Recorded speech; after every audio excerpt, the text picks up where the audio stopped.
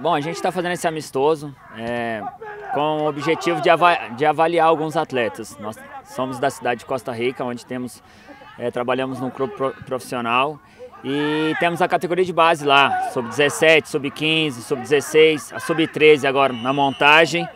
E aí marcamos com o pessoal aqui de Alto Garça para fazer essa avaliação, né? E Nessa avaliação, fazendo esses dois jogos, hoje no Sub-14 e Sub-17, os meninos que destacarem, que a gente vê que tem uma qualidade, é, a gente vai entrar em contato com o pessoal aqui para passar ó, um período de avaliação lá no clube, junto com a categoria de base, para ver se a gente consegue manter eles lá, né? Para disputar os campeonatos estaduais, tem o um campeonato sul-americano que a gente pretende disputar em 2022 e o maior ob objetivo é esse. Primeiro jogo é, foi muito bom, é, avaliamos alguns atletas, onde interessamos em um, um, atleta aí, um goleiro com uma idade boa. E agora está acontecendo o último jogo, né? Onde é um jogo bem acirrado, uma equipe de Alto Garça, uma equipe boa. Então, assim, eu acredito que vai ser é, de bom proveito o jogo de hoje. Agora, a gente que está aqui acompanhando esse segundo jogo, um jogo bem à flor da pele, mas a gente sabe, né, professor? Tem isso, ainda mais tendo avaliação, tem toda aquela pegada de todos os atletas. Não, com certeza. Nessa categoria 15, 16, 17 anos, já é uma categoria bem competitiva, onde os atletas querem mostrar o seu futebol, onde eles querem mostrar a sua qualidade. Então, ninguém quer perder. Por mais que seja um jogo amistoso, ninguém quer sair com resultado negativo.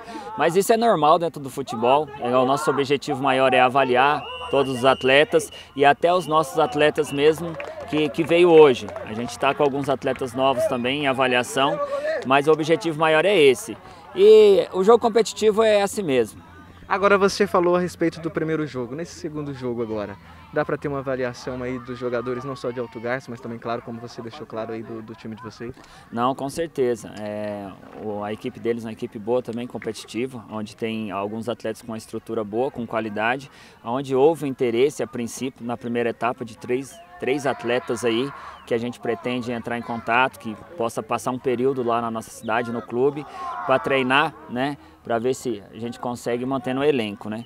E os nossos atletas também que estão em avaliação, a gente é um jogo importante para a gente avaliar se eles têm condição técnica de continuar para 2022. E sem contar que o esporte, professor, é algo muito importante para a nossa juventude em geral, então esse incentivo da Secretaria de Esporte, de vocês lá de Costa Rica, é importante para fazer com que o adolescente se envolva mais no esporte.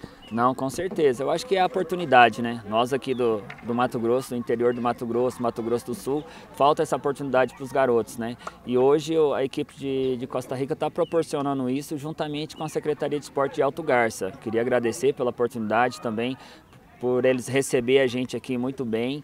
E o mais importante é incentivar os atletas, né? Porque do meio disso, do meio desse incentivo, aí pode sair um atleta profissional e futuramente representar a nossa região.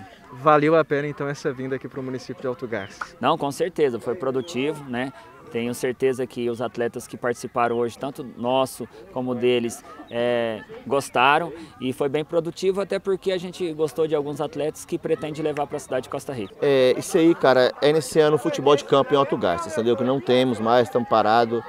É, a gente tem que unir, nós temos que unir forças com, com, com os professores, para a gente ter um futebol de, de, campo forte aqui em Alto Garças. É, a gente fica triste com o que no nosso município, um município pequeno, que tem essas, essas divergências entre alguns professores, entendeu? Que só pensam em si próprio. As coisas não é assim hoje, né?